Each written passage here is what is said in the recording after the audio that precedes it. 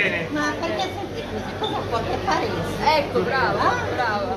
Ma vado a lavorare come ho lavorato io 25 anni in un'impresa di pulizie per 500 euro al mese. È una vergogna, ma vada, vada.